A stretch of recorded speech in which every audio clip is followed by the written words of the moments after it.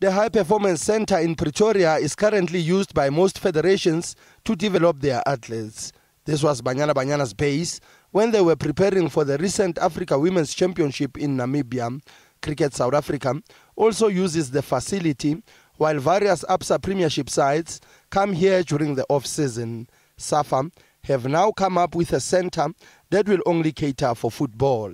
We look at next year, March, April, for the official opening of uh, the National Technical Center of South African Football Association.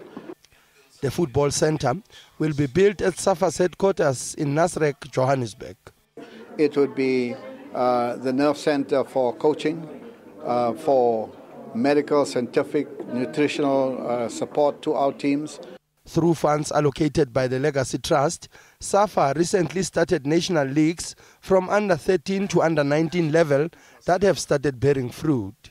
Sfiso Ramara, SABC News, Pretoria.